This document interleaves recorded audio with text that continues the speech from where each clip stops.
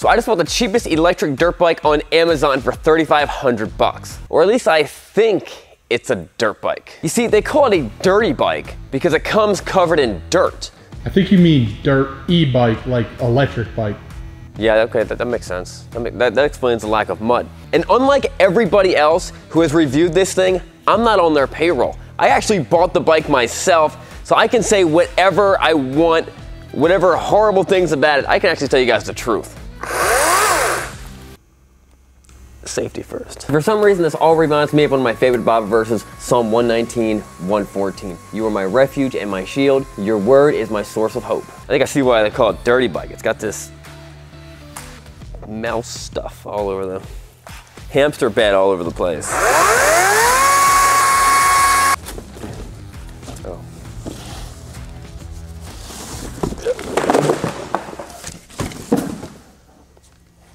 I didn't think the box would be holding the, the whole bike up, but I guess. Well, that sucks. Segway. Stupid box design. I better pick this thing up before all the uh, gas and oil drops out.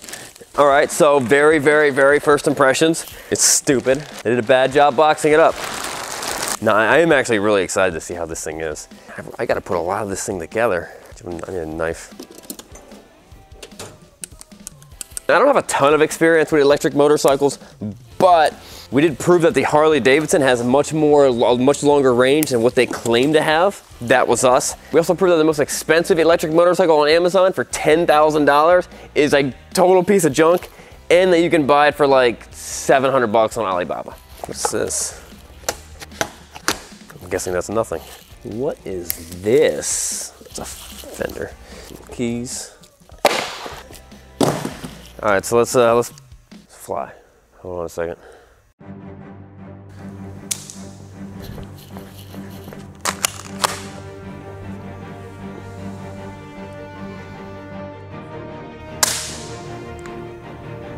like that? You like that? Didn't think I could do that, did you? All right, so let's uh, let's collect all the stuff we got, get all the parts, clean this mess up, put this thing together.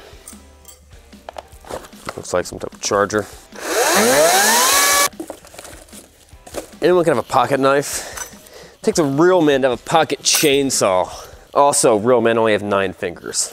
It's not the instructions, but it's kind of tells you what everything is. Nine is the disc brakes. Why, why do you need this? Why does this have to be metal?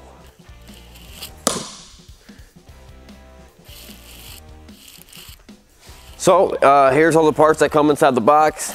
We got a tire, front tire, little toolkit, maybe everything I need to put the bike together. 14, 12, couple Allen key sizes, uh, right side foot peg, front fender, battery charger. I'm not sure where this pad actually goes.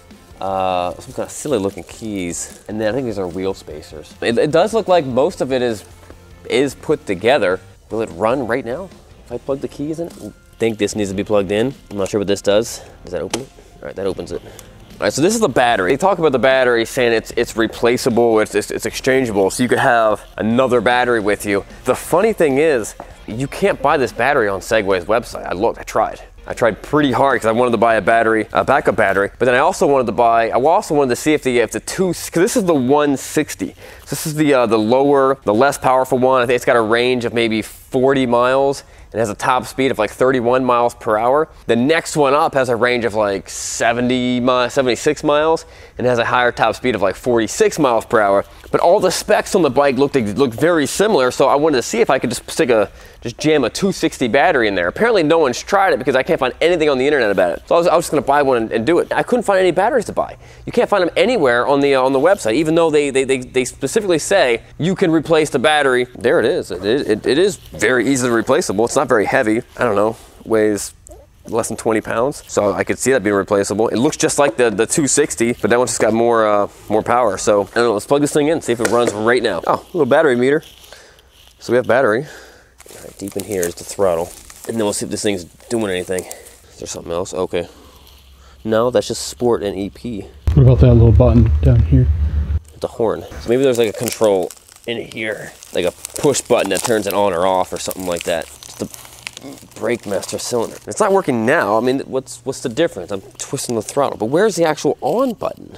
This this is it. This is ignition. That's the actual on button. I don't know. We'll actually take it apart, put it together for real and see if it, it worked. I don't know. So with the exception of the aluminum frame and the VIN number, this thing looks very mountain bike-ish. Mountain bike bars, mountain bike forks, mountain bike, you know, tires. But it is some type of weird, goofy, you know, crossover of where does it actually fall in line? Is it a mountain bike or is it a dirt bike? Or is it just a dirty, disgusting bike. And when you consider the price point, it's actually cheaper than some of the high-end electric mountain bikes, you know, that are run with like the Bosch system. Th those are somewhere around $5,000. But when you, when you actually go to compare this to like an electric dirt bike, like a KTM, you know, you're closer to like eight or $9,000, which is, you know, a lot more than this. Now, so at first glance of this bike, everything about it's stupid and trash and I hate everything about it. But compared to a lot of the like the, the, the normal like Chinese Amazon bikes that we've been putting together, I mean this is this does look like a quality a quality piece, although it is junk and I hate everything about it. But also we, we've been putting together motorcycles. So in the realm of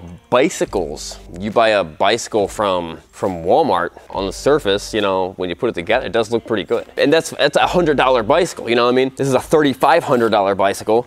So it, sh it should look pretty amazing. And a lot of things that the, the bicycle technology is getting into is they're just using motorcycle stuff. Hydraulic disc brakes, you know what I mean? The, the different suspensions, a lot of the stuff you're seeing on the top of the line bicycles, mountain bikes, they were on motorcycles for the past 50 years. All right, so by now you're wondering, you're like, Sean, why are you so rough with this bike? Why are you giving it such a, you're, you're barely even into it, you're giving it a bad review. Well, I'm excited about this bike, I really am. I really am pumped about it. But about maybe a year and a half ago, maybe two years ago, when Segway first started talking about a little bit, little bit of buzz about this bike. It was never released yet, and it, uh, they may have shown some pictures of it. They contacted us and they said, "We want to sponsor your channel, and you guys can do a review on our bike." And I was like, "Cool." Send five of them over here. Send the baddest five of your baddest bikes over here, we'll, and we will uh, do a re review about them. And they were like, "No, we're not gonna do that." I'm like, "Okay, just, just, just send one." Send us one. I'll do. I'll happily do a review about it. You can sponsor the channel. And they were like, nope. And that's when I realized that they just wanted me to just tell people how great their product was. They wanted to pay me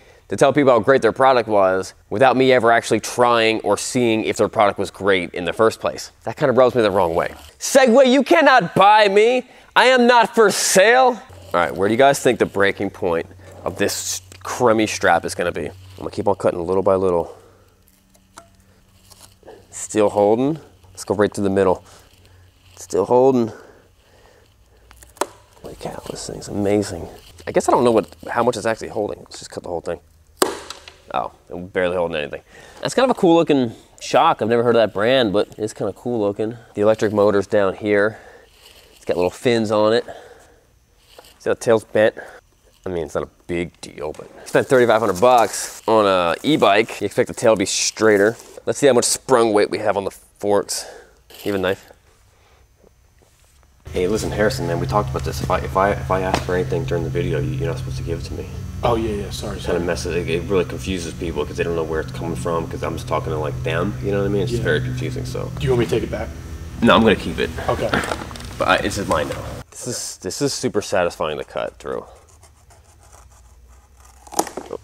A little confused with what's what's actually actually happening with this. There's no bolts in here. I'm not sure how to get that hub out or the axle out. But there is just like a, a mace block to stab you with. Yeah, so here's another question. There's supposed to be four screws that go into here, these bottom pieces, and I've got one. I don't I don't recall seeing a box of screws unless we threw it away. Segway! Significantly heavier than a mountain bike. Significantly lighter than a dirt bike. Probably exactly what you would expect. All right, so you got this little thing in there that you gotta pull out.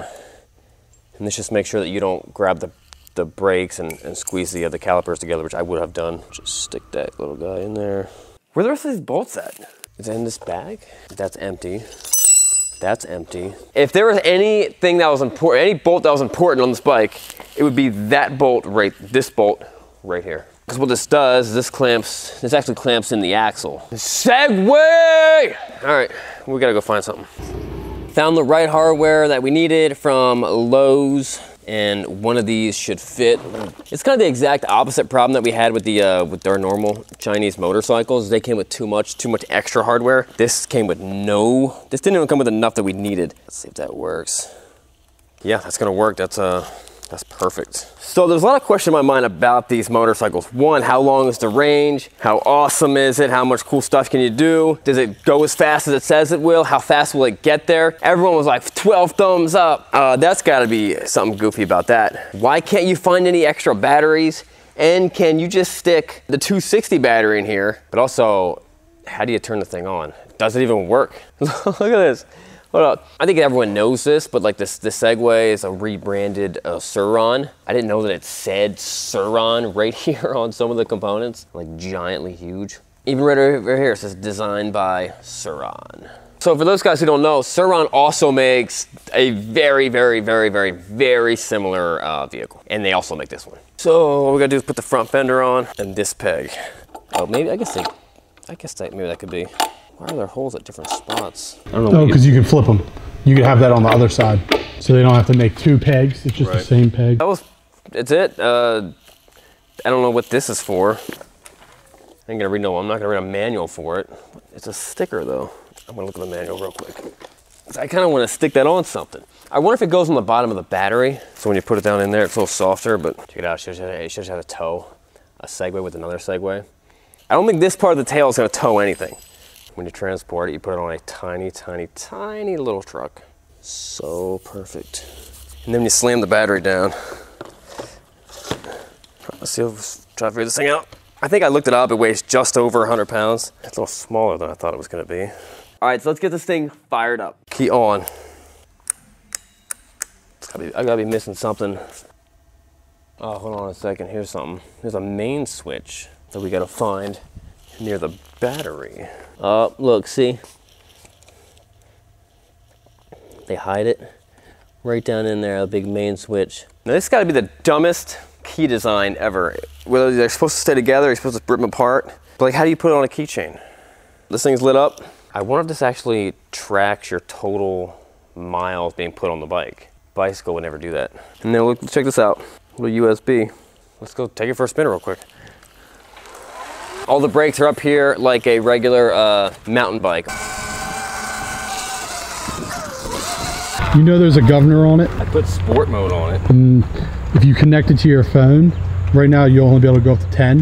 When you connect it to your phone and log in, then it says it'll, it'll unlock the rest of it. So apparently I have to download this stupid app and then it can unlock my motorcycle to go faster than 10 miles, like 9.3 miles an hour after I watch a riding tutorial before you. At, at that point, they're really like crossing a line where they're clearly not, it's not a mo, it, it's not a motorcycle. If you have to watch a video to get to 30 miles an hour, or a tutorial, you know, it's a, uh, it's a child's play toy at that point. Uh, they maybe download an app so I can unlock the rest of the power, which is so stupid. So I, I buy the bike for 3,500 bucks, and if I don't have a cell phone or a smartphone, I only get 30%, like 30% of the bike.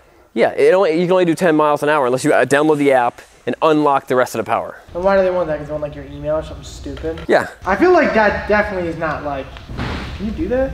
Why does my motorcycle or bicycle need a password? Oh, I forgot my password to my bike. Yo, come watch me type in my, my login. I don't I don't even get to name my bike the name I want because someone already take that name. All right, let's go try it again. I'm trying to hit that jump as fast as I can. I mean, as soon as I hit that little hill, it just kind of bogged down. All right, there's speed modes. High, twisting force, strong. All right, let's see if that makes any better.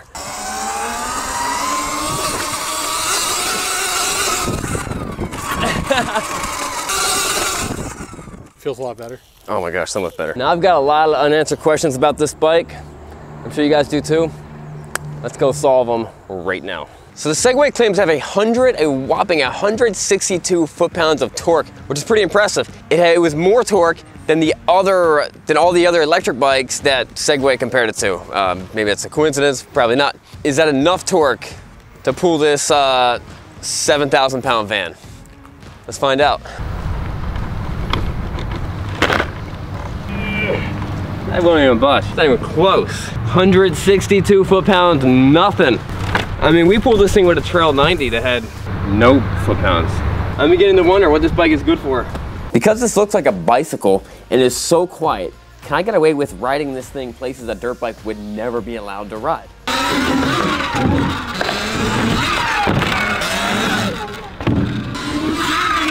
And the answer is yes. I was able to ride this anywhere and no one cared. If I was on a dirt bike, I would have had the cops called on me. But since I wasn't making any noise or tearing up the grass, I was able to live in harmony with the moms at the park at 10:30 a.m. I was even able to take this thing to college without anyone even noticing me. But the big question on my mind, and I'm sure on your mind, is would a three-year-old like it? I I like it big bike. You like this bike? Yeah. Segway claims that this thing can get 42 miles on a charge, which is pretty impressive. So I decided to put that to the test. Running the bike at maximum performance, maxing out at 31 miles per hour, it could only do 10 miles before the bike went into slow mode at 10% battery life a quarter of what Segway claimed it could do. So I did it again, but I turned down the power a little bit, so it only maxed out at 19 miles per hour. And this time, it got 18 miles before it hit 10% and went into slow mode. So you might be able to get 42 miles per charge if you're going 8 miles an hour, which is super lame and obviously not what I expected. And all this makes the Segway a horrible bike until now. All right, so here's the big problem with this electric bike and pretty much with all electric vehicles. It's what they call range anxiety. It's where you're scared that you're not gonna be able to get to a gas station or a charging port or get to your destination and then back home. But I think I solved that problem right here. This is the first ever electric hybrid motorcycle. It's awesome. It's perfection, 100% perfection. So unlike a lot of electric motorcycles, and I've tried this, this one will actually charge while you're riding the bike. It'll let you ride the bike while it's charging. If you look at my phone, connect to the app, we've got 84% battery life remaining. We got a range of 33.7 miles. Let's go see how many miles we can do on this, uh, on this battery charge.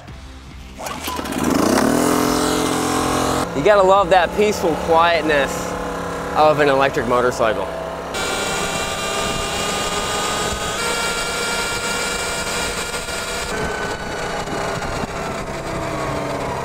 See, this is great because I get the best of both worlds. I get the longevity of a gasoline powered motorcycle. I also get the quiet and efficientness and, you know, the Prius-ish ish of an electric bike. I can also drive on the sidewalks where it's safe.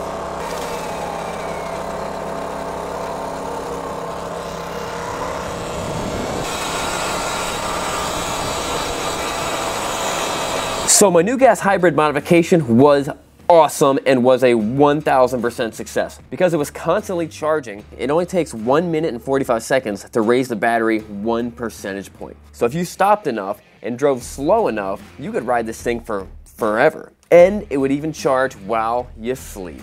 Patent pending, in your face Segway. So if I gotta give my review on the Segway bike, I'm gonna give it horrible review 12 thumbs down. But I was able to salvage what they did and make it awesome, creating the greatest electric motorcycle ever made. It's got a big range, so you have no range anxiety. It's electric, so it's quiet. It's eco-friendly, and it's super fun. What's there not to love? We'll see you guys next time. And don't forget to subscribe. The next time you see that bike, we're probably gonna be challenging it against something.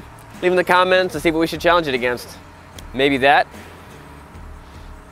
No, behind that. See you guys later.